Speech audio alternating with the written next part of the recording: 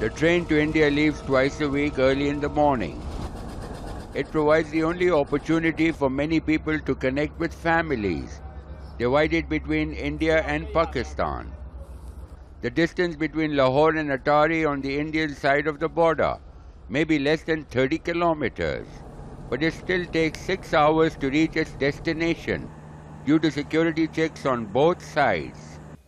Saifullah has come to the station early and is not taking any chances, as he has already seen three cancellations because of escalating tensions between these two nuclear armed neighbors.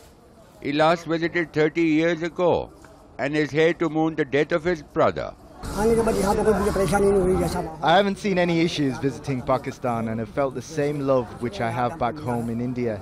Yes, I got worried when train services were halted due to the recent tensions, but now everything is fine and I'm going back happily.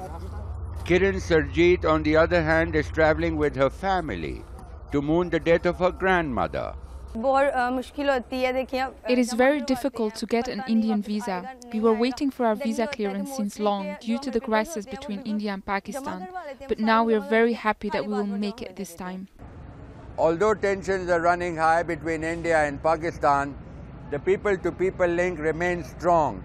With divided families on either side of the border, the hope here is that both countries will be able to reconcile their differences and create an atmosphere of harmony and peace.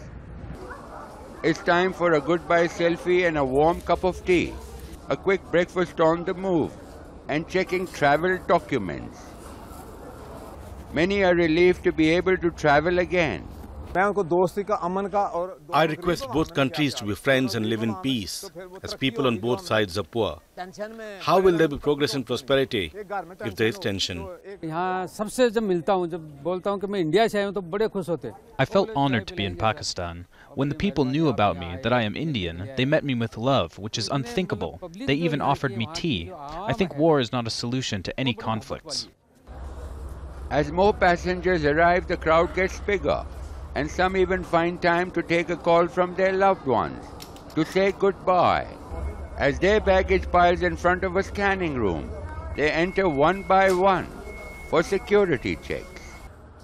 After clearance and under tight security, the passengers board the train for India. For many, it comes as a relief to be finally moving again, perhaps wondering if this precious link will remain open. The Samjhauta Express may be back on track, but no one knows for how long. Kamal Hyder, Al Jazeera, Lahore.